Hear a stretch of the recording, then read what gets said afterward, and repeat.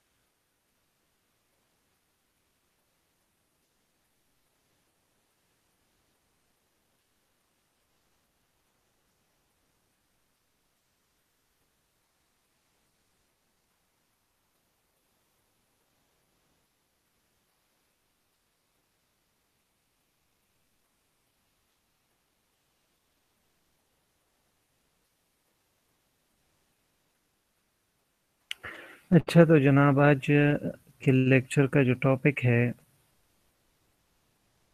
वो है अकल ब्लड ठीक है?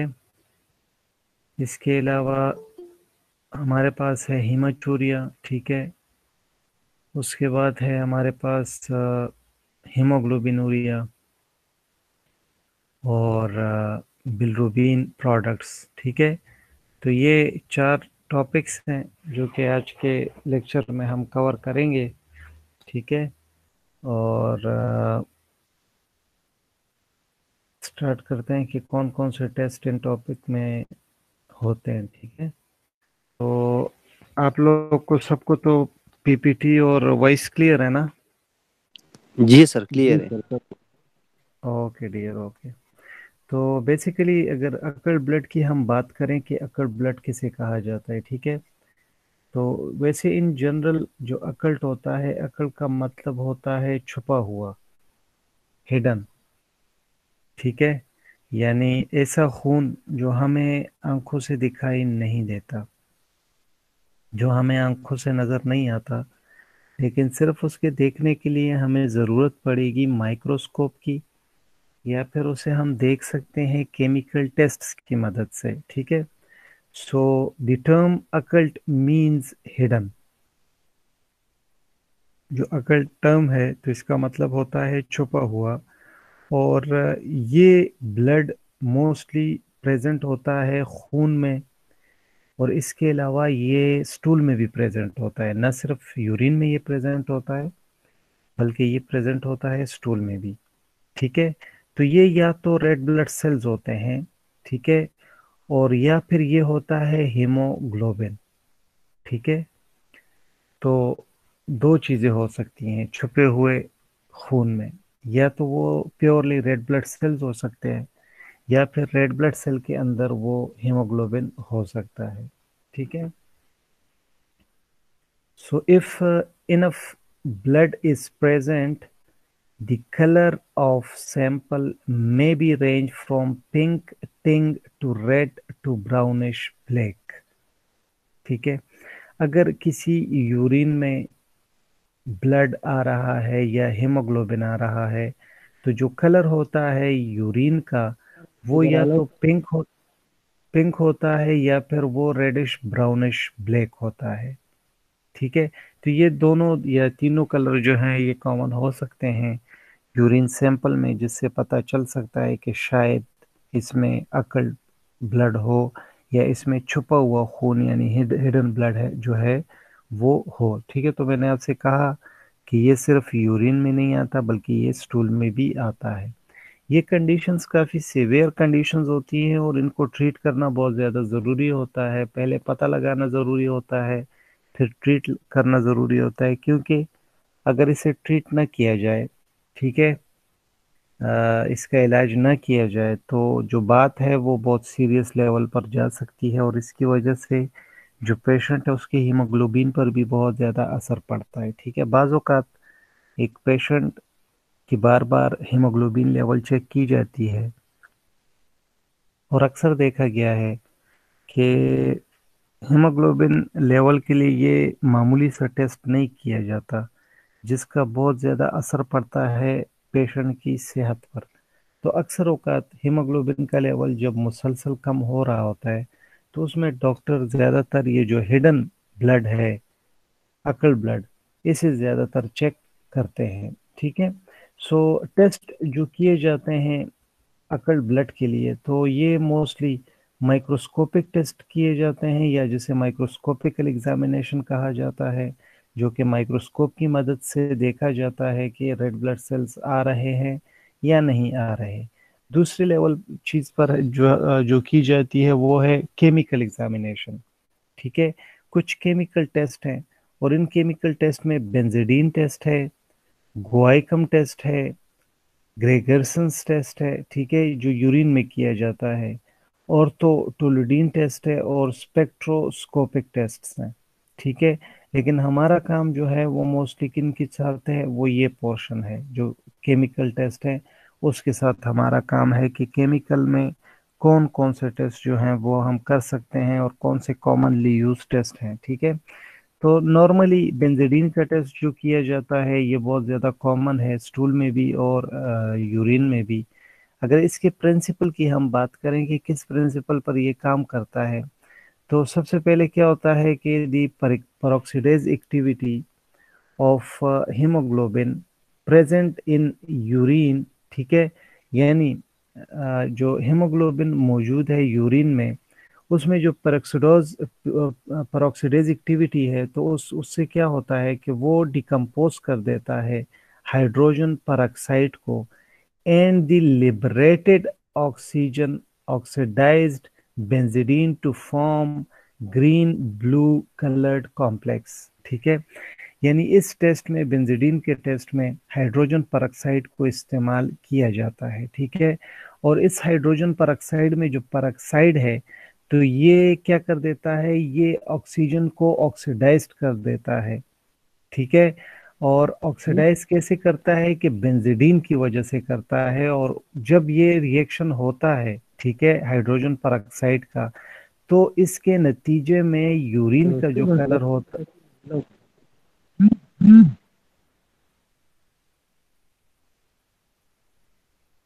द अपना माइक बंद रखें ठीक है? जिसने भी अपना माइक खोला हुआ है तो वो अपना सर जी? बंद जी जी।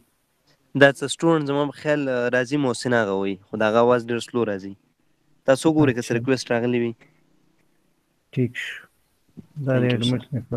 हाँ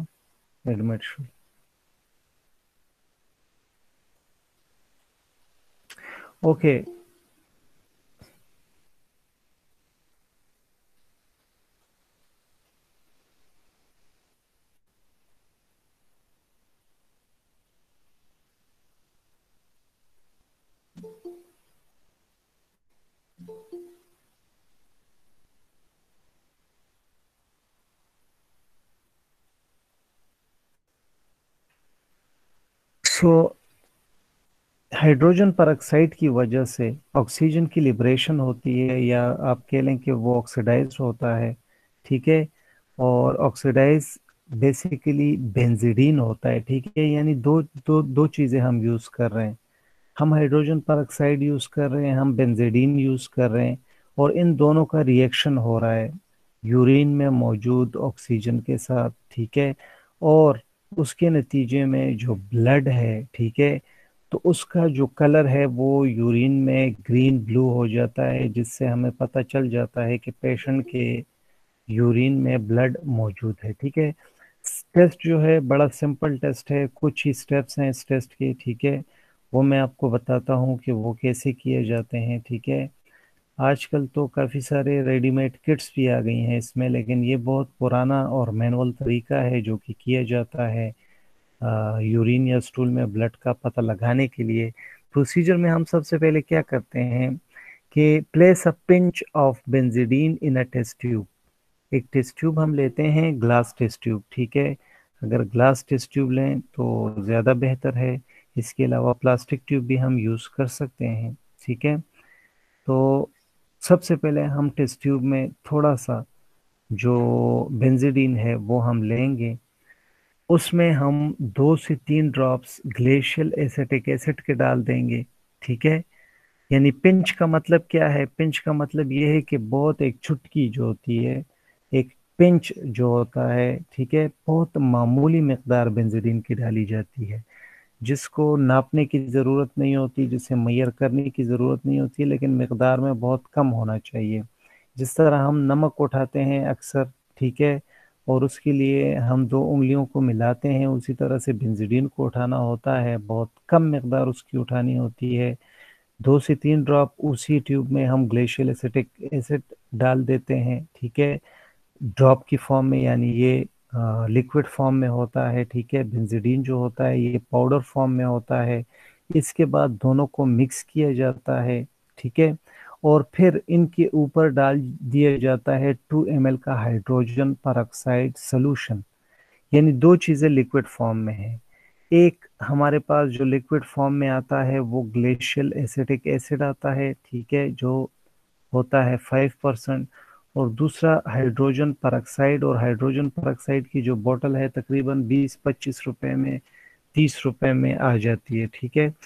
तो ये हम यूज़ करते हैं और मोस्टली ये ज़्यादातर थ्री परसेंट यूज़ किया जाता है हाइड्रोजन परऑक्साइड इसके बाद क्या करते हैं कि हम ट्रांसफ़र कर देते हैं सुपरनेटेंट ठीक है, जो यूरिन होता है to a test tube label S T यानी टेस्ट ठीक है? और उसके बाद हम क्या करते हैं कि फ्यू ड्रॉप्स ऑफ़ यूरिन जो है वो सुपरनेटेंट से हम लेते हैं और इसी टेस्ट में हम जो लेबल किया होता है, जिसमें ये पूरा का पूरा रिएजेंट मौजूद होता है, उसमें डालना शुरू कर देते हैं और कलर को ऑब्ज़र्व करना शुरू कर देते हैं, ठीक है? तो सिंपल सा प्रोसीजर है, कोई भी मुश्किल नहीं है। यानी आप क्या लेते हो? बेंजीडीन लेते हो एक टेस्ट ट्यूब में। उस टेस्ट ट्यूब में आप glacial acetic acid five percent डालते हो, कितना? दो से तीन ड्रॉप दो एमएल आप डालते हो हाइड्रोजन परऑक्साइड इन चीज़ों को अच्छे से मिक्स करते हो, फिर यूरिन का जो सुपरनेटेंट है वो आप लेते हो, और उससे कुछ ड्रॉप्स आप डाल देते हो इसी ट्यूब में, जिस ट्यूब में सारे के सारे केमिकल्स मौजूद होते हैं, और फिर हम देखते हैं कि कलर चेंज हुआ है कि नहीं हुआ. ठीक है? अच्छा क्लिनिकल सिग्निफिकेंस क्या है? यानी तशखीसी अहमियत इस टेस्ट की क्या है?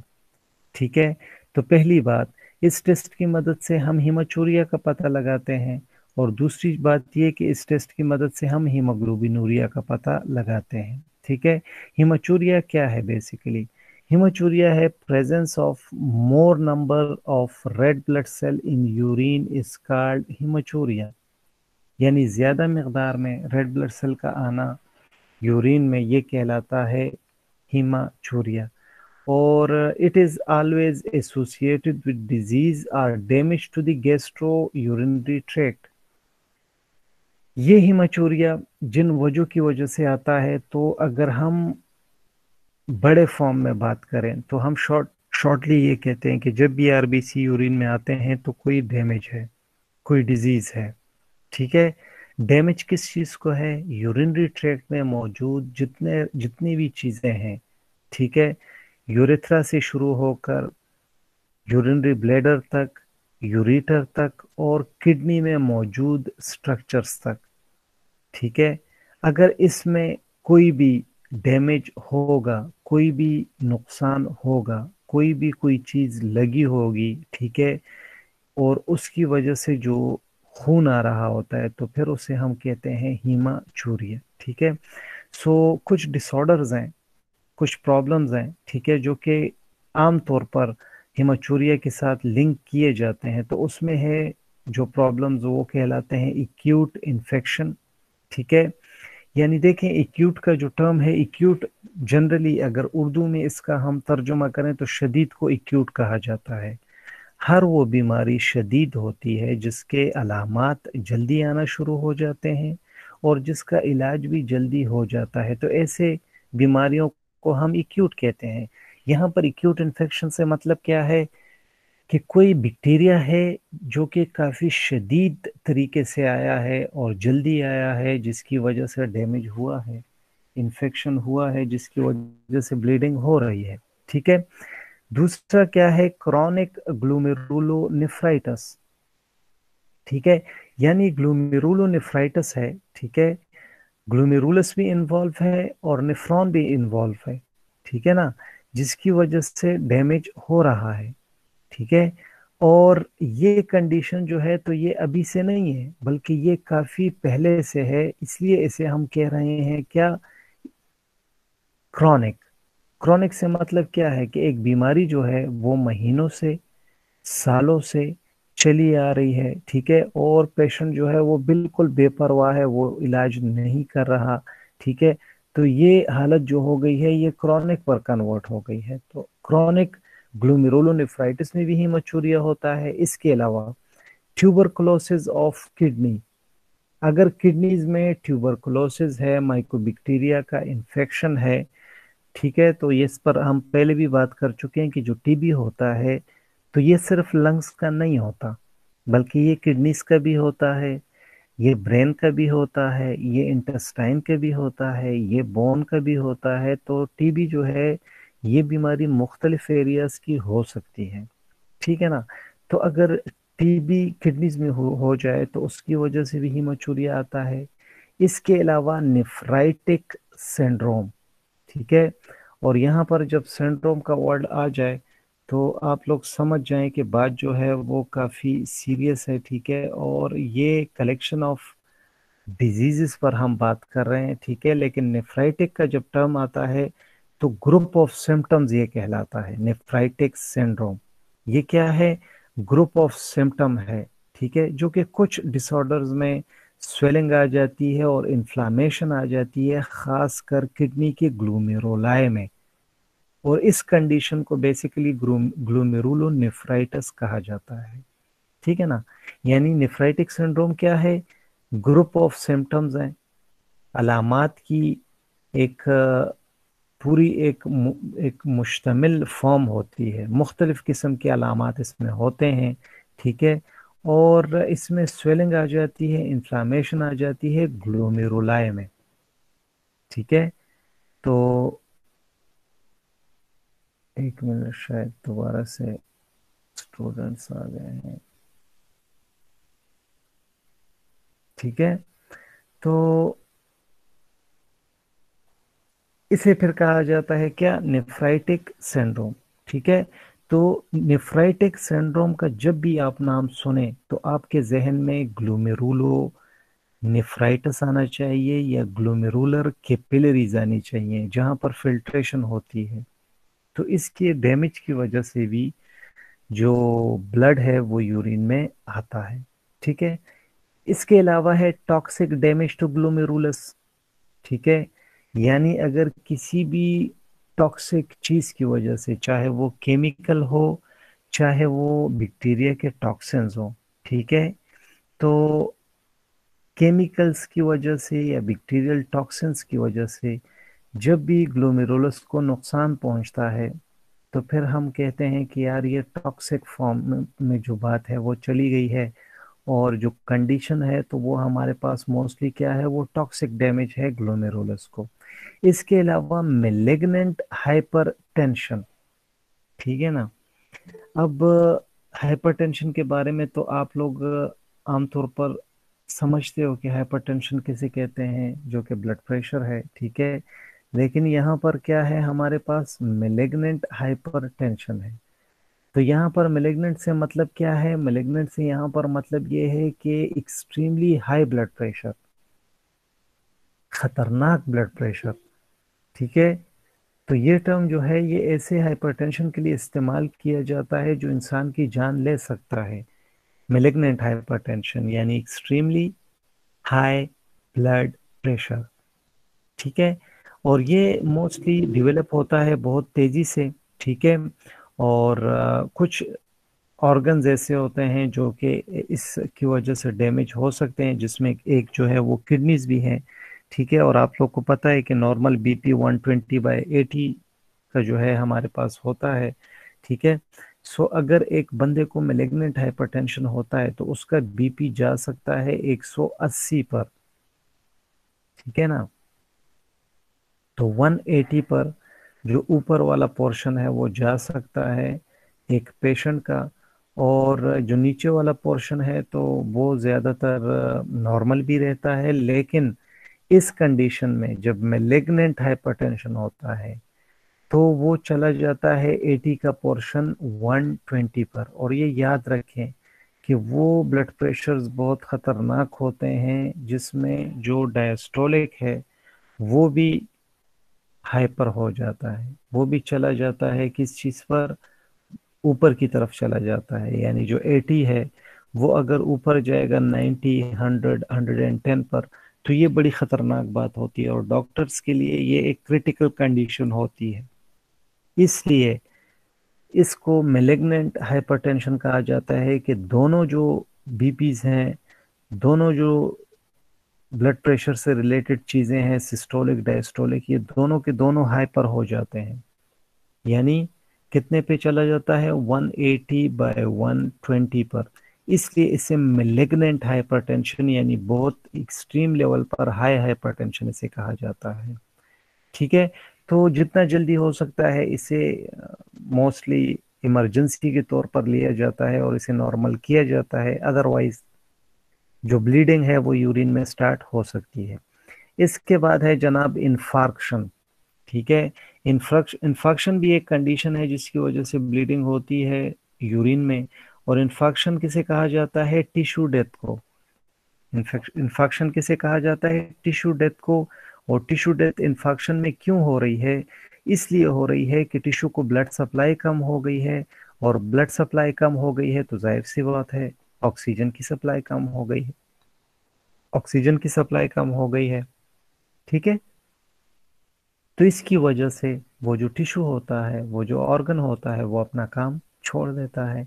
और इसके नतीजे में जो ब्लीडिंग है, जो ब्लड है, जो रेड ब्लड सेल्स हैं, वो यूरिन में आ जाते हैं। इसके अलावा नेक्स्ट रीज़न है रीनल कैलकुलाई किडनी स्टोन्स पथरियाँ, ठीक है? तो अगर ये हैं तो इसकी वजह से जब ये हरकत करती हैं किडनीज में तो ये ज़ख़म पैदा करती हैं, जिसकी वजह से आरबीसी या ब्लड जो है, वो यूरिन में आता है। ट्रामा टू किडनी या अगर किडनीज को कोई धचका लग जाए एक्सीडेंट हो जाए कोई कारतूस वगैरह, बुलेट लग जाए, चाकू लग जाए, या ये पेशेंट गिर जाए, या कोई और नकीली चीज़ इसे लग जाए। इसके अलावा है एक्यूट सिस्टाइटस यानी सिस्टाइटस कहा जाता है इन्फ्लामेशन ऑफ़ ब्लेडर ठीक है तो इसमें भी ब्लड आएगा। कैलकुलाई तो हो गया स्टोन्स ठीक है। Tumour in the or bladder and kidney stones ठीक है। ट्यूमर अगर है यूरिटर में या फिर ब्लेडर में तो उसकी वजह से भी ब्लीडिंग होती है। अगर हम बाकी क्लिनिकल कंडीशंस पर बात करें, सच एज हमारे पास ल्यूकीमिया हो गया, ठीक है, जो कि कैंसर है ब्लड का तो इसकी वजह से भी आ जाता है ब्लड यूरिन में थ्रोम्बोसाइटोपिनिया। अगर प्लेटलेट जो हैं, उसका काउंट कम हो जाए तो ये बहुत ख़तरनाक हालत होती है। और मैंने आपसे पहले भी क्लास में कहा था कि नॉर्मली हमारे पास चार लाख पचास तक, एक लाख पचास से चार लाख चार लाख पचास तक हमारे पास नॉर्मल काउंट होता है प्लेटलेट का। लेकिन पचास हज़ार से जब भी प्लेटलेट कम होता है तो ये क्रिटिकल कंडीशन कहलाती है। ठीक है? ये हमारे पास एक ऐसी हालत होती है कि अगर इसे कंट्रोल ना किया जाए तो ऑटोमेटिकली मरीज़ के गम से, मरीज़ के आई से, यानी आँखों से, मरीज़ के नाक से, मरीज़ के कान से, या फिर मरीज़ के एनल रीजन से जो ब्लीडिंग है, वो शुरू हो जाती है ऑटोमेटिकली क्योंकि प्लेटलेट कम हो जाते हैं। रोकने वाला कोई होता नहीं है। ठीक है? तो इसलिए इस कंडीशन को कंट्रोल करना ज़रूरी होता है। दूसरा क्या है? कोगुलेशन फैक्टर डिफिशिएंसी हमारे जिसम में जो तेरह चौदह फैक्टर्स हैं क्लॉटिंग फैक्टर जो खून को क्लॉट करने में मदद करते हैं, जो खून को मुंजमद करने में मदद करते हैं। जब भी हमारे जिसम पर जख्म लगता है तो ये क्लॉटिंग फैक्टर्स आते हैं और ये उस खून को रोकने में हमारी मदद करते हैं। तो अगर इसमें कोई भी एक फैक्टर कम हो जाए तो भी ये कंडीशन हो सकती है। सिकल डिज़ीज़ आर ट्रेड्स ठीक है? तो अगर यह सिकल की बीमारी है सिकल सेल्स हैं तो उसमें भी इस तरह की ब्लीडिंग हो सकती है, क्योंकि वो आर बी आरबीसी नॉर्मल होते हैं। स्कर्वी स्कर्वी एक ऐसी कंडीशन है मोस्टली ठीक है? जिसमें बहुत ज़्यादा ब्लीडिंग होती है, ख़ासकर जिसम में मौजूद जो गम्स हैं, वहाँ से और ये वाइटामिन सी की कमी की वजह से होता है, ये स्कर्वी ठीक है? स्कर्वी जो है, ये वाइटामिन सी की कमी की वजह से होता है। गम्स में बहुत सख्त ब्लीडिंग होती है, ठीक है? वाइटामिन सी को स्कॉर्बिक एसिड भी कहते हैं। और मरीज़ जो है, इसमें काफ़ी कमज़ोरी महसूस करता है, थकता बहुत ज़्यादा है और एक किस्म के ज़ख़म पड़ जाते हैं अक्सर पाँव और हाथों में भी, ठीक है? तो ये भी बड़ी सीवियर कंडीशन होती है और इसको भी ट्रीट करना बहुत ज़्यादा ज़रूरी होता है। इसलिए देखें, ये कहा जाता है अक्सर के जो वाइटामिन सी है तो वाइटामिन में से ये वाहिद वाइटामिन है, जो स्टोर नहीं होता। जो जिसम में स्टोर नहीं होता, ठीक है?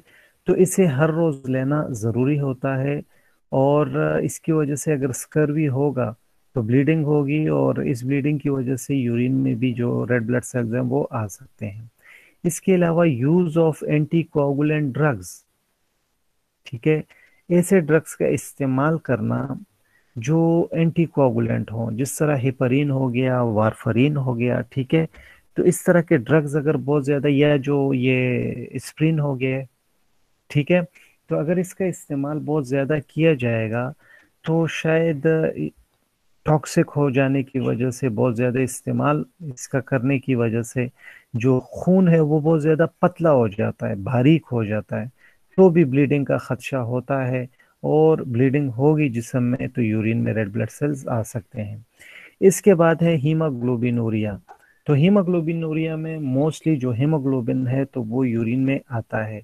तो ये हम कहते हैं कि it is the presence of free haemoglobin in urine as a result of intravascular haemolysis ठीक है? और अगर सेल जो ब्लड विसल्स हैं, अगर इसके अंदर हीमोलिसिस होगा टूट फूट होगी तो उसके नतीजे में जो हीमोग्लोबिन है फ्री हीमोग्लोबिन वो यूरिन में आना शुरू हो जाता है, ठीक है? तो उसकी वजह से भी जो यूरिन का कलर होता है, वो चेंज हो जाता है, ठीक है? अच्छा इसके अलावा कुछ एक्यूट कंडीशंस हैं। जो कि मोस्टली हीमो हीमोग्लोबिन हीमोग्लोबिनूरिया के साथ लिंक्ड अप करती हैं और कुछ क्रॉनिक कंडीशंस हैं, जिसकी वजह से ये कंडीशन डेवलप हो जाती है, जिसे कहा जाता है हीमोग्लोबिनूरिया एक कंडीशन है इनकम्पिटेबल ब्लड ट्रांसफ्यूजन यानी किसी बंदे को गलत ब्लड ग्रुप जो है वो चढ़ा दिया गया है, जिसकी वजह से हिमोलिसिस शुरू हो गई है। दूसरी है haemolytic anaemia due to drugs and chemicals यानी कुछ ऐसे केमिकल्स दवाइयाँ इस्तेमाल की गई हैं, जिसका रिएक्शन हो गया है जिसम में और हिमोलिसिस शुरू हो गई है। तीसरा है फेविज्म फेविज्म क्या है? देखें फेविज्म निकला है फेवा बीन से। फेवाबीन मटर के दानों को कहा जाता है। और कुछ लोगों को जो जिक्स G six P D deficiency होती है तो वो मटर खाने की वजह से भी उनमें सेंसिटिविटी होती है। तो basically G six P D जब डिवेलप हुआ, जब डिस्कवर हुआ तो ये इसे पहला नाम कहा जाता था फेविज्म क्योंकि कुछ मरीज़ ऐसे देखे गए थे कि जब वो मटर खाते थे तो उनमें हिमोलिसिस शुरू हो जाया करती थी और अक्सर उनकी यूरिन का कलर चेंज हो जाता था। ठीक है? स्किन का कलर पेल हो जाता था क्योंकि हिमोलिसिस होती थी बहुत सीवियर टाइप की ठीक है? तो इसलिए इसे फेविज्म का नाम दिया गया। तो फेविज्म अगर होगी तो भी हीमोग्लोबिनूरिया होगा। दूसरा है पेरोक्सिमल कोल्ड हीमोग्लोबिनूरिया ठीक है? बड़ा स्पेसिफिक टर्म है जो कि यूज़ होता है आ, इस चीज़ के लिए ठीक है? जिसे कहते हैं पेरोक्सिमल कोल्ड हीमोग्लोबिनूरिया ठीक है? तो पेरोक्सिमल कोल्ड हीमोग्लोबिनूरिया हमारे पास क्या है? ये भी हमारे पास इसे शॉर्ट टर्म में पीसीएच कहा जाता है ठीक है? अच्छा एक मिनट शायद स्टूडेंट्स आ गए हैं।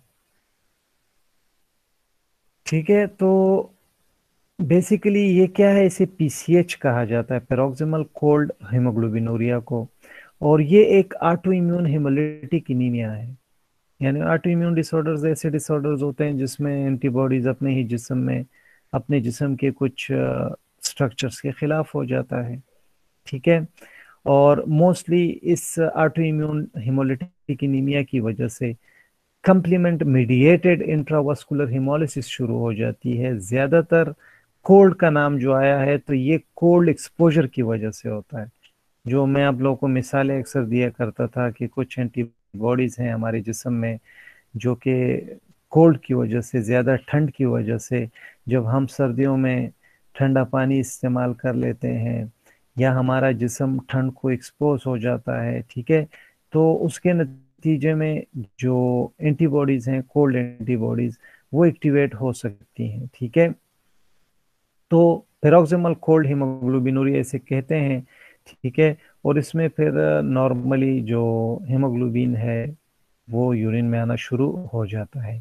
मार्च एक्सर्शनल हीमोग्लोबिनूरिया यानी मार्च एक्सर्शनल का न, मतलब क्या है ठीक है? मार्च देखें हम नॉर्मली कहते हैं जो फौज वाले जो मार्च करते हैं ठीक है? जो पैदल वो चलते हैं जो उनका तरीका होता है चलने का ठीक है?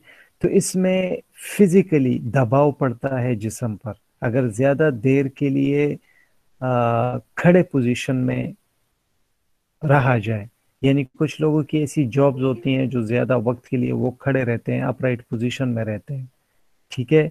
तो इसकी वजह से नॉर्मली जो यूरिन है तो उसमें हीमोग्लोबिन आना शुरू हो जाता है।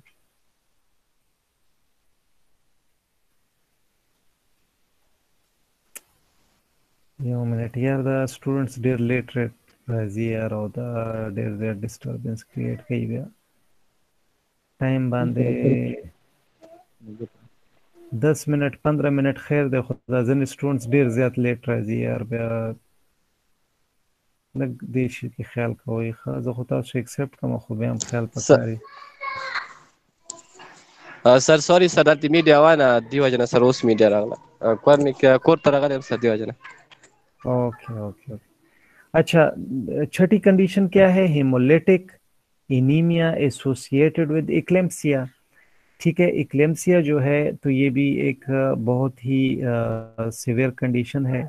और इक्लेम्सिया का जब भी नाम आता है तो इक्लेम्सिया को हम मोस्टली ये टर्म यूज़ होता है प्रेगनेंसी में। ठीक है, इसमें मोस्टली कन्वर्जन होते हैं झटके आते हैं, जो प्रेग्नेंट वुमेन होती है। ठीक है और हाई ब्लड प्रेशर जो है वो पैदा हो जाता है ऐसी फीमेल्स में, अक्सर प्रेगनेंसी में। बदकिस्मत ऐसी कुछ फीमेल्स होती हैं जिनको ये कंडीशन डेवलप हो जाती है। ठीक है, जो कि कोमा भी हो सकता है इसमें। और मोस्टली माँ को भी ख़तरा होता है और बेबी को भी ख़तरा होता है, इनकी हेल्थ को ख़तरा होता है, ठीक है? इस कंडीशन की वजह से। तो इसे क्लेम्सिया कहा जाता है और इसमें मोस्टली हीमोलिटिक इनीमिया हो जाता है, ठीक है? सातवें नंबर पर है हीमोलिटिक यूरिमिक सिंड्रोम, ठीक है? तो हीमोलिटिक यूरिमिक सिंड्रोम हमारे पास क्या है बेसिकली, ठीक है? ये भी एक सिंड्रोम है, कलेक्शन ऑफ़ डिजीजेस हैं इसमें, ठीक है? और इस कलेक्शन ऑफ़ डिजीजेस में हमारे पास क्या होता है कि मोस्टली जो स्मॉल ब्लड वेसल्स होती हैं किडनीज में, ठीक है? तो ये डैमेज होना शुरू हो जाती हैं। ठीक है? एक सेकेंड यार। एक सेकेंड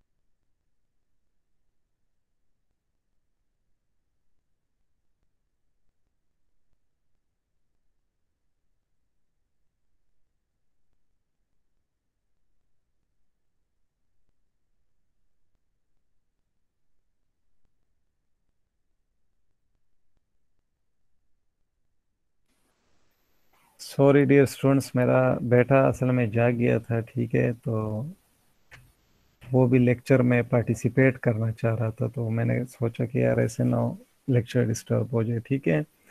अच्छा तो बात थी हमारी यूरेमिक सिंड्रोम पर हिमोलिटिक यूरेमिक सिंड्रोम पर, ठीक है?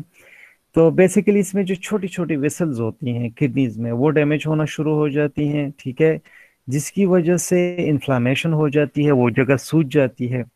और ये इतना ख़तरनाक होता है कि इसकी वजह से छोटे छोटे क्लॉट्स बनना शुरू हो जाते हैं विसल्स के अंदर। ये हिमोलिटिक यूरेमिक सिंड्रोम बहुत ख़तरनाक कंडीशन है। और यहाँ पर जो छोटे विसल्स हैं किडनीज में, वो डैमेज हो रहे हैं, जिसके नतीजे में छोटे छोटे क्लॉट्स बन रहे हैं ब्लड के किडनीज में, ठीक है? और ये क्लॉट्स जो हैं तो ये जो फिल्टरिंग सिस्टम होता है किडनीज का, वो फिर उसकी वजह से फेल होना शुरू हो जाता है और ये एक लाइफ थ्रेटनिंग कंडीशन है, ठीक है? यानी अगर इसको टाइम पर ट्रीट ना किया जाए तो it can lead to death of patient मरीज़ की जान जा सकती है इसकी वजह से, क्योंकि अगर ये क्लॉट ज़्यादा टाइम तक इस तरह से रहेंगे विसल्स के अंदर तो खून के सप्लाई में काफ़ी मसला हो जाता है। इसके बाद है haemolytic anaemia due to burns. वो लोग जो जल जाते हैं तो जलना जो है वो तीन किस्म का है हमारे पास, नॉर्मली। एक है हमारे पास इलेक्ट्रिकल, यानी कोई बंदा जो कि इलेक्ट्रिसिटी बिजली की वजह से पकड़ा जाता है, ग्यारह हज़ार का जो लाइन होता है वो काफ़ी हेवी होता है, ये भी बर्न में आता है।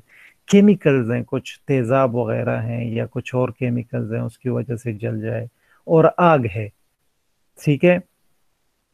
तो ऐसे कंडीशन में भी हिमोलिटिक इनीमिया हो जाता है हिमोलिसिस हो जाती है, ठीक है? तो जो कि यूरिन में फिर इसका पता चलता है स्नेक एंड स्पाइडर बाइट्स अच्छा ये देखें, ये बहुत एक ज़बरदस्त टर्म आ गया है स्नेक एंड स्पाइडर बाइट्स देखिए कुछ स्पाइडर्स जो होते हैं जिसे हम अ, वो में जोला बोलते हैं ठीक है? जनेकसान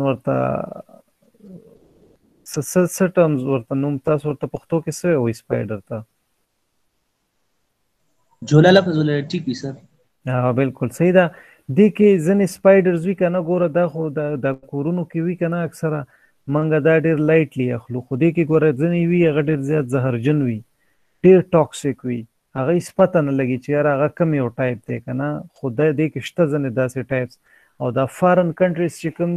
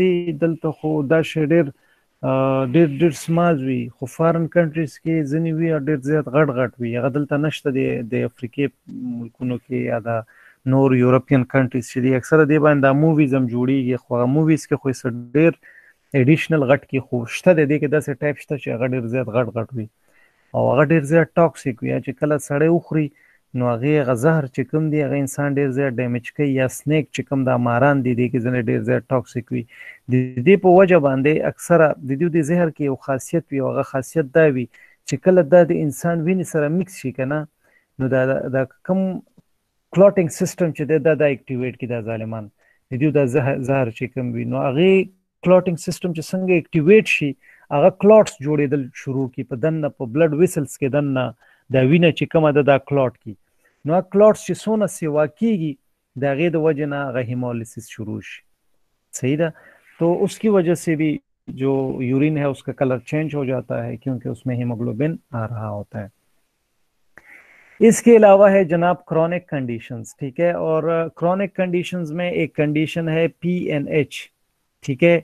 और इसे कहा जाता है पेरोक्सिमल नॉक्टर्नल हीमोग्लोबिनूरिया ठीक है? पी एन एच ठीक है? और ये बहुत ज़्यादा रेयर ब्लड डिज़ीज़ है। बहुत ज़्यादा कम है ये। इतना ज़्यादा नहीं है, इतना ज़्यादा नहीं होता लोगों में।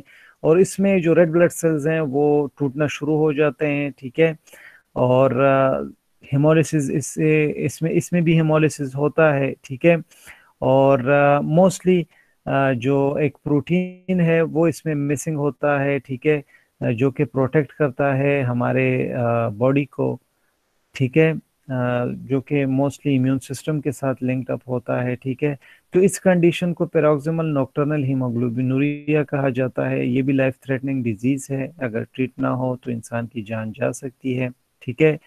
रेड ब्लड सेल की डिस्ट्रक्शन बहुत ज़्यादा होती है, हेमोलिटिक इनीमिया होता है, ब्लड क्लॉट्स बनते हैं इसमें थ्रोम्बोसिस बहुत कॉमन होता है इस पेरोक्सिमल नोक्टर्नल हीमोग्लोबिनूरिया में, ठीक है? छोटे छोटे क्लॉट्स बनना शुरू हो जाते हैं रेड ब्लड वेसल्स में, ठीक है? दूसरे इसमें एक प्रॉब्लम ये हो जाती है कि इसमें जो बोन मेरो का फ़ंक्शन होता है, वो भी ख़राब हो जाता है, ठीक है? तो जो ब्लड कंपोनेंट्स हैं, वो फिर इतने नहीं बनते।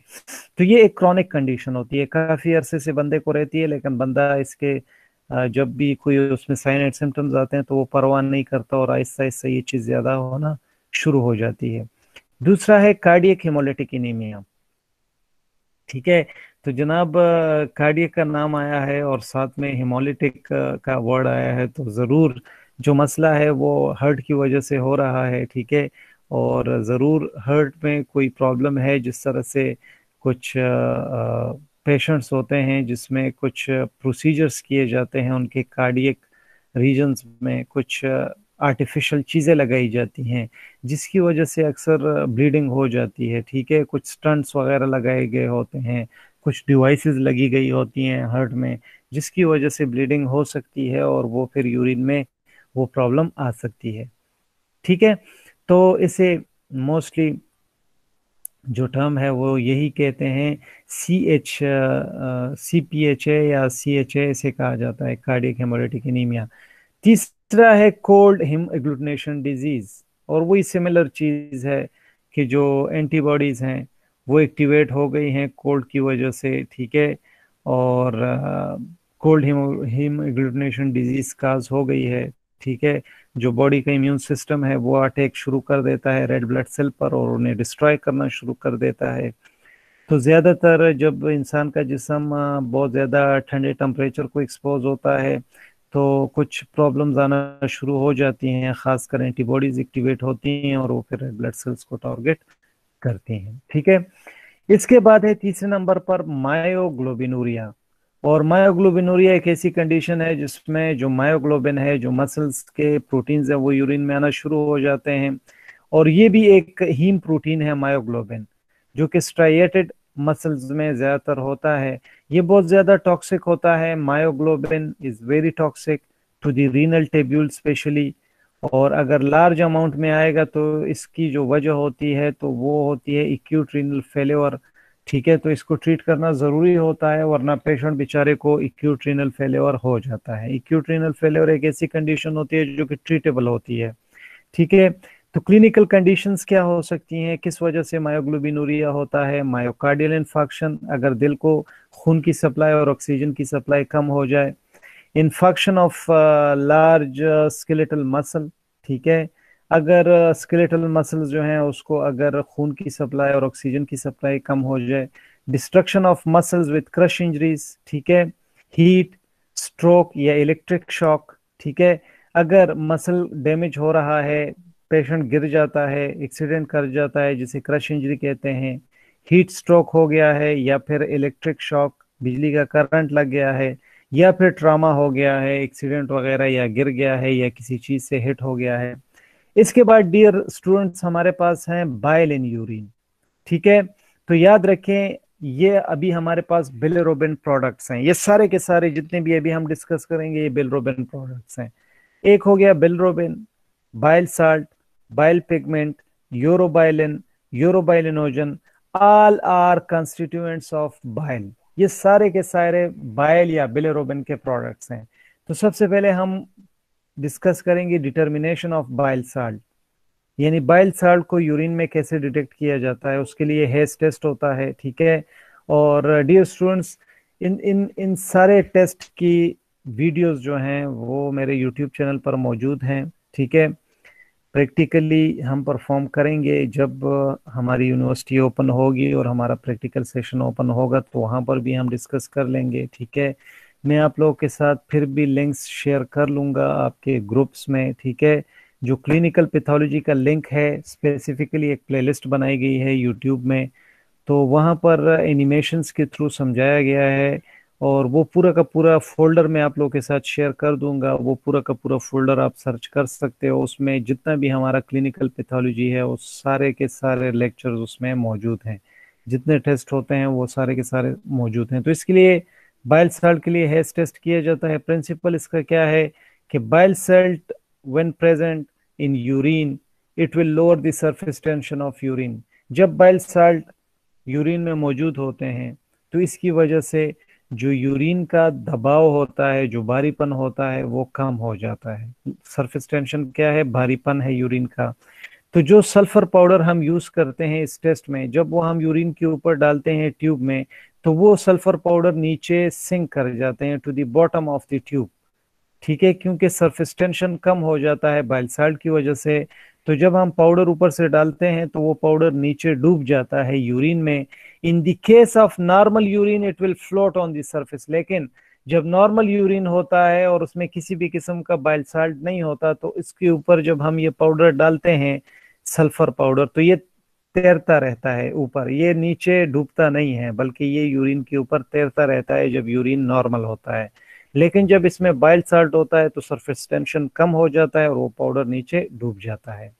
हेज टेस्ट का जो प्रोसीजर है तो इसका प्रोसीजर हम कैसे करते हैं कि आप सबसे पहले 10 एम यूरिन लोगे एक टेस्ट ट्यूब में, उसके ऊपर थोड़ा सा एक छुटकी सा पिंच ऑफ़ सल्फ़र पाउडर जो है वो ऊपर डाल देते हो और फिर ऑब्ज़र्व करते हो सल्फ़र पार्टिकल को, ठीक है? तो अगर डूब जाए तो टेस्ट पॉजिटिव है, ना डूबे तो टेस्ट नेगेटिव है। मेथड इसमें और भी हैं, ठीक है? जिसमें है हमारे पास foam test Gmelin's test Smith's test Fouchet's test Ehrlich aldehyde test और श्लेजिंगर्स टेस्ट लेकिन जो कॉमन टेस्ट इसमें होते हैं तो एक फॉर्म टेस्ट है, इसमें एक फोचेट टेस्ट है इसमें एक एलरिच अल्डिहाइड टेस्ट है। ये ज़्यादातर कॉमन है और ये जो हेस टेस्ट है, ये कॉमन है, ठीक है? अच्छा फॉर्म टेस्ट कैसे करते हैं? Shake some urine in a test tube urine अगर टेस्ट ट्यूब में है या अगर बॉटल में है तो उसे ज़ोर से शेक करो। If the top is yellow the bile pigment are present ये सबसे आसान टेस्ट है, ठीक है? यूरिन को ज़ोर से शेक करो। अगर यूरिन में फॉर्म बनता है जाग बनता है और उस जाग का कलर येलो होता है, ठीक है? तो इसका मतलब है कि बाइल पिगमेंट यानी बिलरोबिन के प्रोडक्ट्स जो हैं वो यूरिन में मौजूद हैं। अगला टेस्ट है हमारा फोचेट्स टेस्ट और फोचेट्स टेस्ट का प्रिंसिपल क्या है कि इसमें बेरियम क्लोराइड इस्तेमाल किया जाता है जब ये यूरिन में डाला जाए।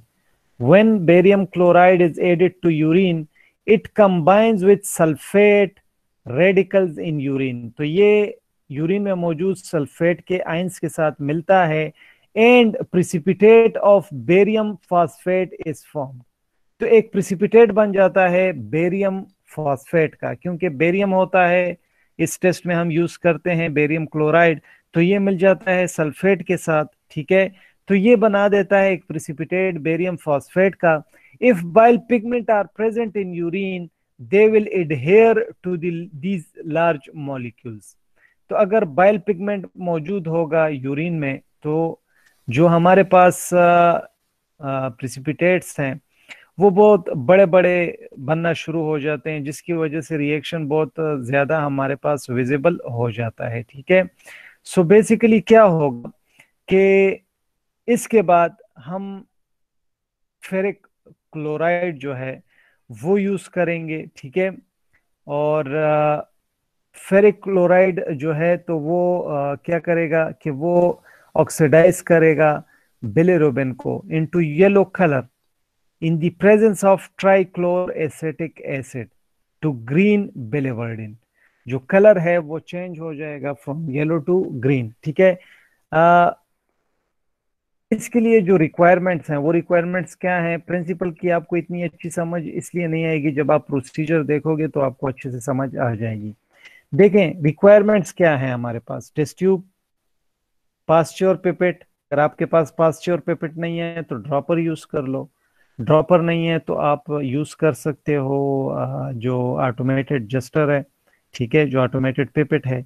फोचेट्स रिएजेंट फ़िल्टर पेपर अभी फोचेट्स रिएजेंट में क्या क्या है? Trichlor acetic acid distil water और 10 परसेंट फेरिक क्लोराइड सोल्यूशन ठीक है? तो ये ज़्यादातर रेडीमेड आता है और आप इसे रेडीमेड इस्तेमाल कर सकते हो, लेकिन आजकल तकरीबन ये टेस्ट भी खत्म हो गए हैं यार। और आजकल आप लोगों ने देखा है कि कंबर्टन के स्ट्रिप्स आ गए हैं मार्केट में, जो बड़े से स्ट्रिप्स होते हैं, जिसमें 10 और 11 और 12 पैरामीटर्स होते हैं तो उसमें ये सारे टेस्ट हो जाते हैं। अच्छा फोचस टेस्ट का प्रिंसिपल प्रोसीजर क्या है? टेन एम यूरिन हम लेते हैं और उसमें हम दो अशारिया पाँच एम बेरियम क्लोराइड डाल देते हैं। इसको फिर हम फ़िल्टर करते हैं। फ़िल्टर किस चीज़ से करते हैं हम? जो दूसरा ट्यूब होता है, उसके ऊपर हम एक फ़िल्टर पेपर, जो लिटमस का फ़िल्टर पेपर होता है, या वाटमैन फ़िल्टर पेपर जिसे कहते हैं, वो हम रख देते हैं, ठीक है? और ये जो यूरिन है टेन एम और जिसमें हमने बेरियम क्लोराइड डाला है, ठीक है? तो मिक्स करने के बाद हम इसे फ़िल्टर करते हैं दूसरे ट्यूब में और फिर जो फ़िल्टर पेपर होता है, उसको हम खोल देते हैं। जिस फ़िल्टर पेपर में हमने यूरिन और बेरियम क्लोराइड को फ़िल्टर किया था तो उस फ़िल्टर पेपर के साथ अभी हमारा काम है। उस फ़िल्टर पेपर को हम खोल देते हैं और उसके ऊपर क्या करते हैं, देखें unfold the filter paper and spread it on the dry filter paper यानी उस फ़िल्टर पेपर के साथ यूरिन और बेरियम क्लोराइड जो है, जो मिक्स्ड था, वो लग गया है।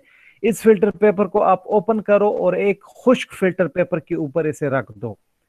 और इसके ऊपर अभी आपने एक ड्रॉप फॉचेट रिएजेंट डालना है।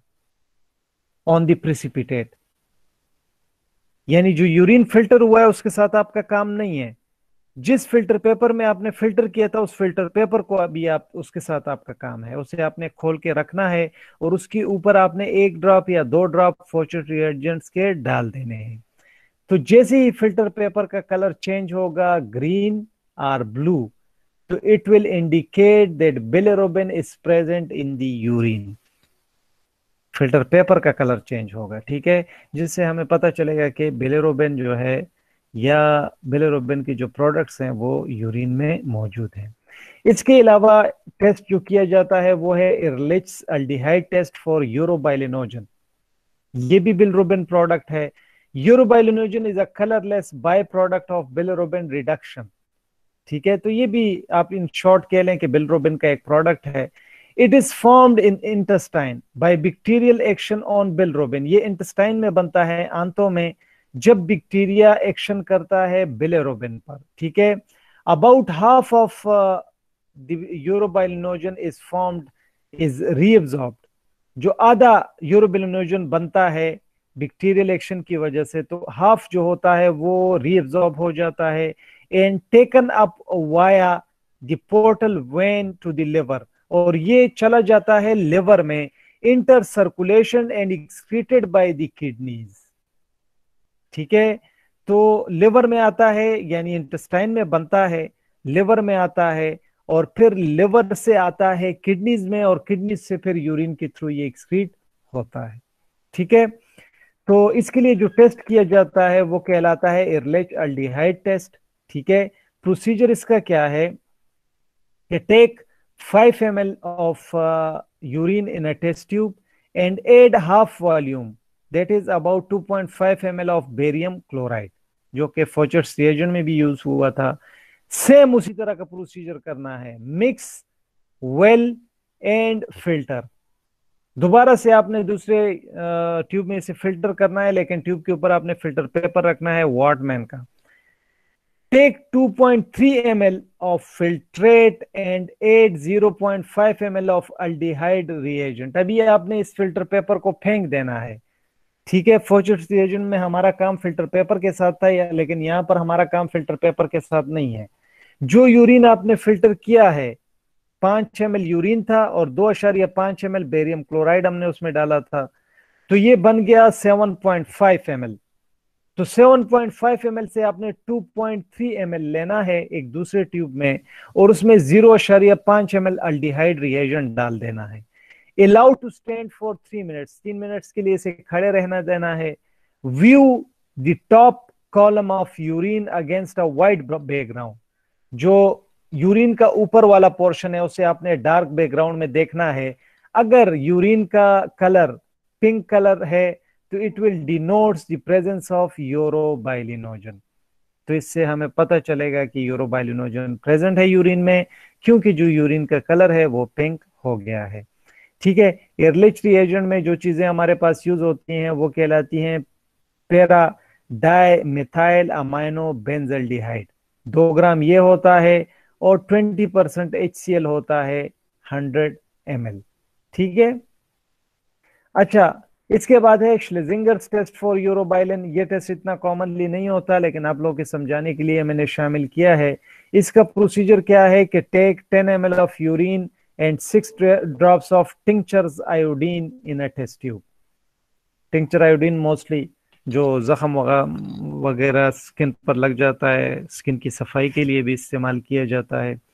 तो 10 एम यूरिन आपने लेना है, उसमें छह ड्रॉप आपने टिंचर आयोडीन के डालने हैं।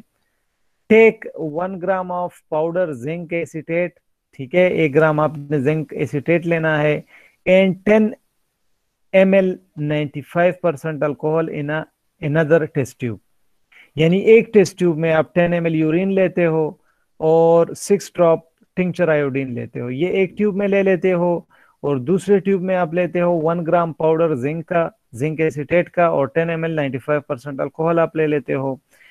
अभी क्या करना है? Mix by pouring A into B ठीक है?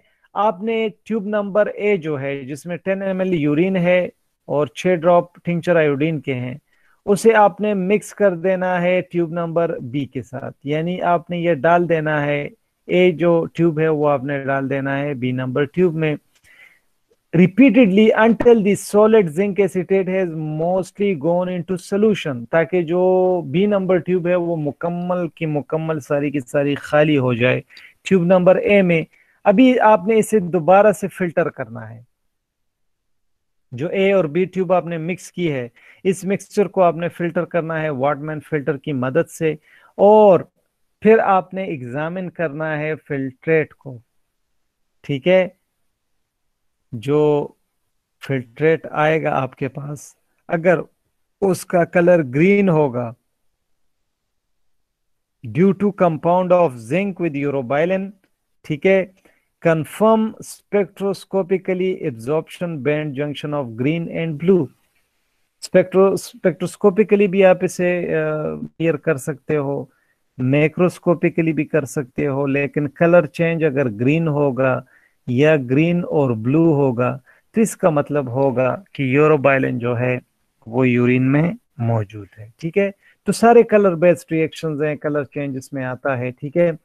लास्ट हमारा जो जो हमारा टॉपिक है, वो है क्लिनिकल सिग्निफिकेंस ठीक है? यानी ये जितने भी टेस्ट हैं, खासकर बाइल पिगमेंट या जो बिलरोबिन के प्रोडक्ट्स हैं, ये क्लिनिकल सिग्निफिकेंस इन चीज़ों की है. तो इसकी तशखीसी अहमियत क्या है? डिटर्मिनेशन ऑफ़ बाइल साल्ट ठीक है? Bile pigment and urobilinogen is useful in diagnosis of jaundice यानी बिलोरोबिन के जितने भी प्रोडक्ट्स हैं, चाहे वो बाइल साल्ट है बाइल पिगमेंट है यूरोबाइलिनोजन है तो इसकी अहमियत क्या, तशखीस के लिहाज से ये है कि इससे हमें जैंडस का पता चल जाता है। यानी अरकान का पता चल जाता है। बिलरोबिन जो सेकंड नंबर पर है बिलरोबिन में be found in urine in liver disease bilirubin जब भी यूरिन में आएगा तो कोई लिवर की डिज़ीज़ होगी. And usually found in clients who have biliary tract obstruction या उन लोगों में बिलरोबिन आता है जिनका जो जो जो बाइल का रास्ता होता है। ठीक है? जो कि गैल ब्लेडर में बनता है बाइल तो निकलने के लिए उसका डक्ट होता है, अगर वो बंद होगा। स्टोन्स हैं और बंदिश है बाइल नहीं आ रहा इंटेस्टाइन में तो बाइल अपने साथ बिलरोबिन को भी लेकर आता है। तो अगर बाइल का रास्ता बंद होगा तो बिलरोबिन खून में इंक्रीज होगा और वो फिर आएगा यूरिन में, ठीक है किडनी के थ्रू तो इससे हमें पता चलेगा कि ज़रूर बाइलरी ट्रैक्ट ऑब्स्ट्रक्शन है। बाइल का रास्ता बंद है तो उसमें बिलरोबिन आएगा। Conjugated bilirubin appearing in urine generally indicates that there is excess conjugated bilirubin in bloodstream देखें केमिकल पैथोलॉजी आप लोगों ने पढ़ी है या नहीं पढ़ी या नेक्स्ट सेमेस्टर में पढ़ोगे तो उसमें हम बात करते हैं कि बिलरूबिन की दो तीन अकसाम होती हैं एक को कंजुगेटेड कहा जाता है एक को अनकॉन्जुगेटेड जब लिवर में बिलोरोबिन नहीं आया होता तो फिर इसको अनकॉन्जुगेटेड कहते हैं। और जब बिलरोबिन लिवर में आ जाता है और ग्लूकोरोनिक एसिड के साथ मिल जाता है तो फिर हम इसे कंजुगेटेड बिलोरोबिन कहते हैं। यानी किसी केमिकल के साथ मिला हुआ बिलोरोबिन। ठीक है? तो कंजुगेटेड बिलोरोबिन जब भी यूरिन में हाई होगा तो इसका मतलब है कि ब्लड में कंजुगेटेड बिलोरोबिन हाई हो गया है। यानी लिवर में आ चुका है बिलोरोबिन वो ग्लूकोरोनिक एसिड के साथ मिल गया है और जब कंजुगेटेड बिलोरोबिन बन जाता है तो ये आसानी से एक्सक्रीट होता है फिर यूरिन में। बिलोरोबिन जब भी यूरिन में एक्सक्रीट होता है तो इसको अनकंजुगेटेड से कंजुगेटेड फॉर्म में लाना ज़रूरी होता है।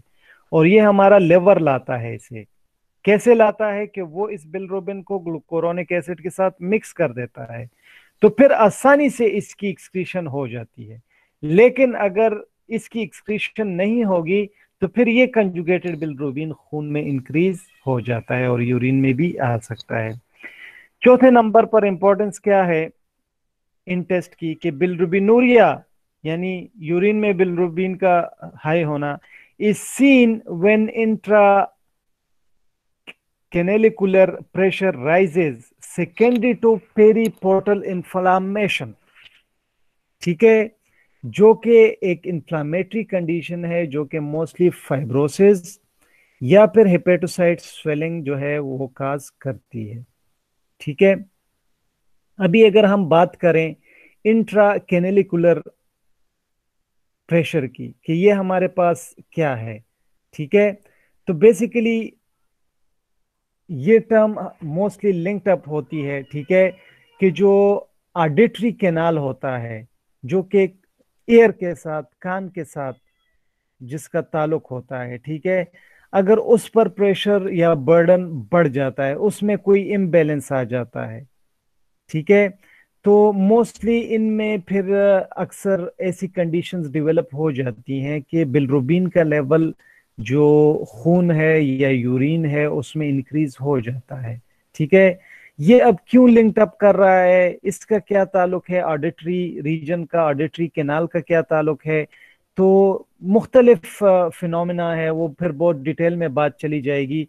लेकिन आप सिर्फ़ इतना याद रखें कि बिलरुबिनूरिया देखी जा सकती है मोस्टली जो इंट्रा केनेलिकुलर प्रेशर है। जो कि मोस्टली जो एयर कैनाल है, या जो एयर रूट है, या जो कान है, ठीक है, उसके साथ इसका ताल्लुक है, उस पर प्रेशर बढ़ता है प्रेशर राइज होता है, ठीक है। Secondary to peri portal inflammation यानी अक्सर लिवर में इंफ्लामेशन होती है पेरीपोर्टल इन्फ्लामेशन ठीक है, या फिर फाइब्रोसिस है, ठीक है अभी फाइब्रोसिस हमारे पास क्या है? फाइब्रोसिस मोस्टली uh, uh, एक कंडीशन है जिसे कहा जाता है फाइब्रोटिक स्कारिंग ये uh, एक पैथोलॉजिकल टर्म है। जब भी वुंड हीलिंग होती है और जिसमें कनेक्टिव टिश्यू जो है वो रिप्लेस कर देता है नॉर्मल पेरनकाइमल टिश्यू को। ठीक है? सो so, यहाँ पर फिर फाइब्रोसिस डेवलप हो जाती है। जो स्कार है वो बहुत बड़ा हो जाता है जो जख्म है वो बहुत बड़ा हो जाता है।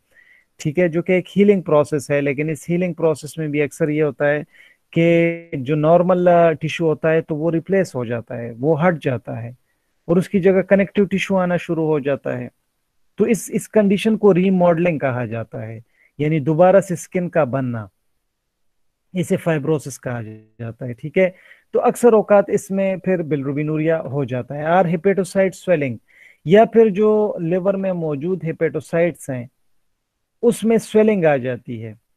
वो सूज जाते हैं इन्फ्लामेटरी कंडीशन होती है। तो इसकी वजह से भी बिलरुबिन जो है वो हाई हो जाता है यूरिन में।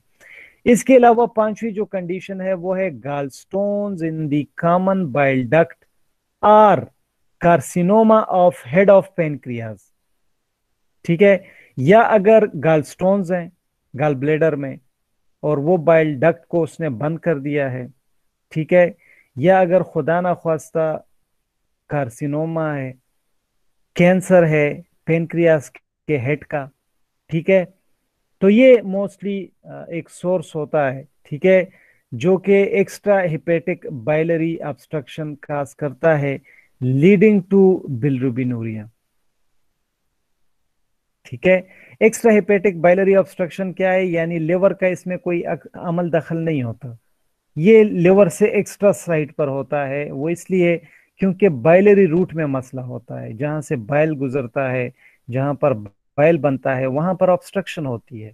गालस्टोन आ जाता है, ठीक है, जिसकी वजह से बाइल जो है वो निकल नहीं पाता, और ये कंडीशन जो है ये लीड कर जाती है इनटू बिलरुबिनूरिया ठीक है, क्योंकि मैंने आपको बताया कि बाइल का रास्ता बंद होगा तो बाइल अपने साथ बिलरुबिन को लेकर आता है किडनीज में इंटेस्टाइन में इसी की वजह से इसकी एक्सक्रीशन हो पाती है कि बाइल जब इंटेस्टाइन में आएगा तो ही बिलरुबिन जो है वो आसानी से फिर एक्सक्रीट हो पाएगा। ठीक है ना? तो अगर बाइल का ही रास्ता बंद है तो फिर बिलरुबिन निकलेगा कहाँ से?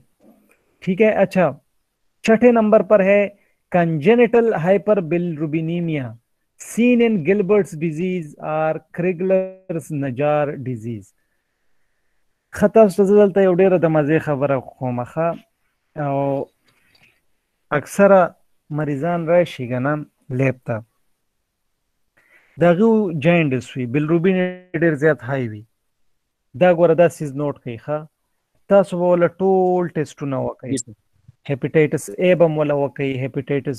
B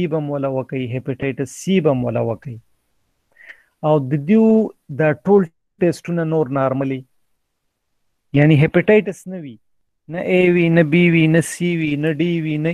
E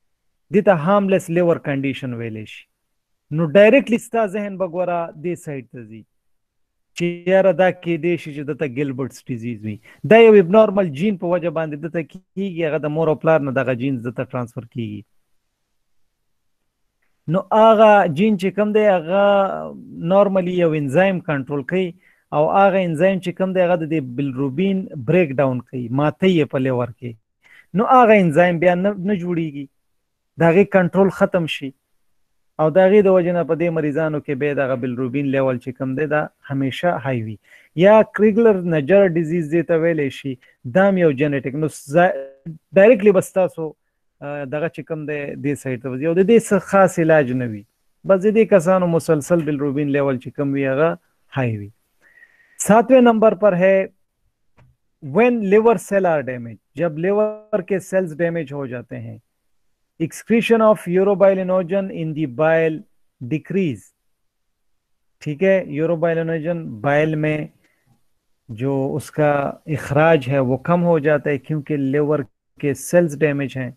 और लेवर के सेल्स ये सारा काम कर रहे हैं तो लेवर के सेल्स ही अगर डैमेज हो जाएँगे तो फिर तो एक्सक्रीशन ठीक तरह से होगी ही नहीं। एक चीज़ ठीक तरह से उसकी मेटाबॉलिज्म ही नहीं होगी। Whereas it its urinary excretion is increased और नतीजे में यूरिन एक्सक्रीशन क्या हो जाएगी? हाई हो जाएगी। ठीक है? दिस में बी सीन इन सीरोसिस ये ज़्यादातर ये कंडीशन किस चीज़ में देखी जा सकती है? सीरोसिस में। अगर सीरोसिस है, एक मरीज़ को खुदा ना खास्ता तो उसकी यूरिन में बिलेरोबिन के प्रोडक्ट्स ज़्यादा देखे जाते हैं। Hepatitis congenital heart failure with congestion of the liver या फिर कंजेनेटल हार्ट फेलेवर है पैदाइशी हार्ट प्रॉब्लम है हार्ट ने काम छोड़ दिया है। या लेवर में कंजेशन है लेवर बंद है। लेवर ठीक तरह से काम नहीं कर रहा। तो भी जो यूरोबाइलिनोजन है, जो कि बिलरोबिन प्रोडक्ट है, वो यूरिन में बहुत ज़्यादा आना शुरू हो जाएगा। इसके अलावा आठवें नंबर पर excessive urobilinogen is also found in the urine of those with liver disease or haemolytic disorder urobilinogen जो है वो लिवर डिज़ीज़ में भी आते हैं, जो बाकी डिज़ीज़ हैं लिवर की, या फिर अगर हिमोलिसिस है तो उसमें भी आएगा। यानी इन शॉर्ट जो बिलरोबिन के प्रोडक्ट्स हैं तो ये आपने देखा कि ज़्यादातर इसका कांटेक्ट लिवर के साथ गाल ब्लेडर के साथ हेमोलिसिस के साथ बहुत ज़्यादा है। ठीक है? क्योंकि जब भी हेमोलिसिस होती है तो बिलरोबिन निकलता है। ठीक है? तो ये था जनाब हमारा केमिकल सेक्शन यूरिन का जो कि अख्ताम पजीर हो गया है और इसके बाद हम स्टार्ट करेंगे डायरेक्टली स्टूल एनालिसिस ठीक है? तो जी सर। इनशाला नेक्स्ट जो हमारा चैप्टर होगा वो स्टूल पर होगा। ठीक है?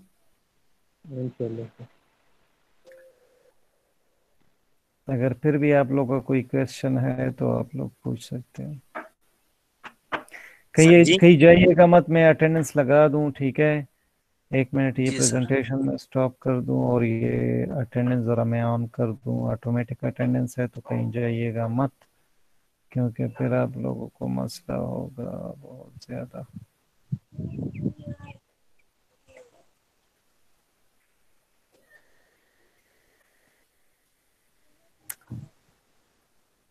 जी साबिर। जी सर जी।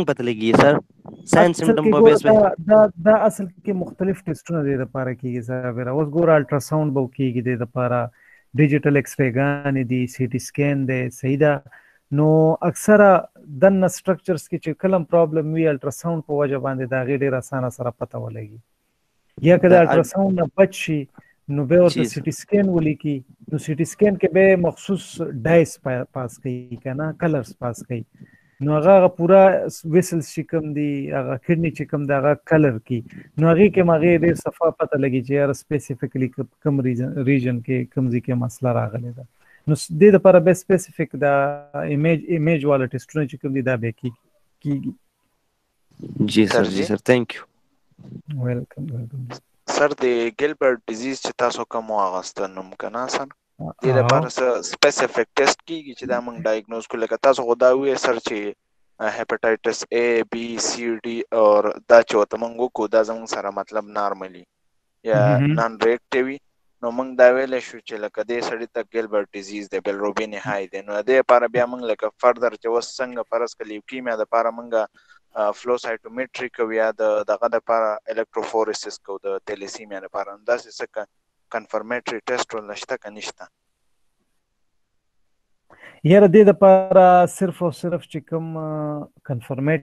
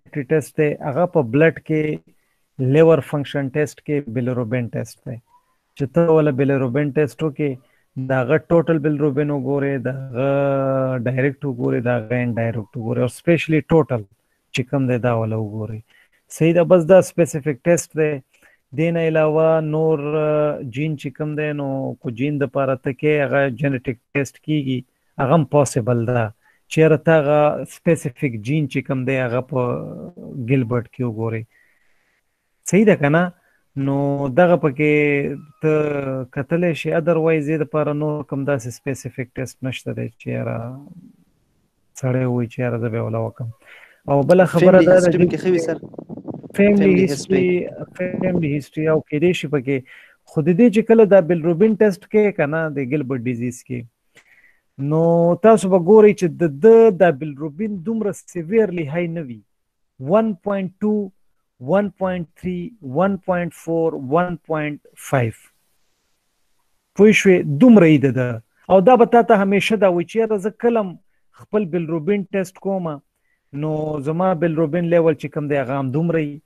1.2 1.3 1.4 1.5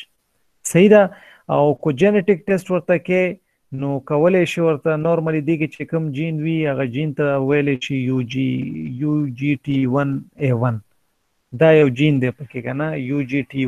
1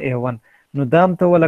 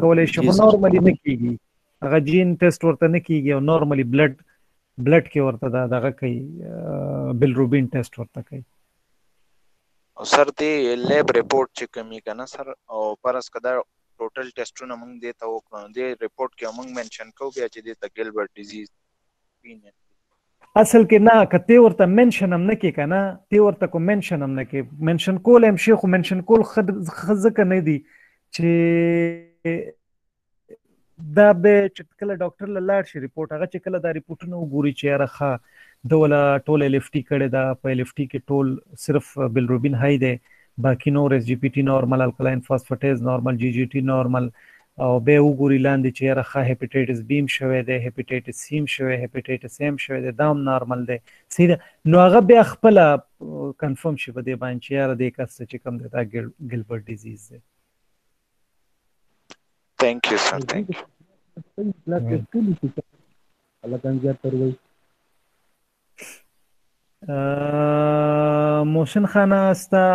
आवाज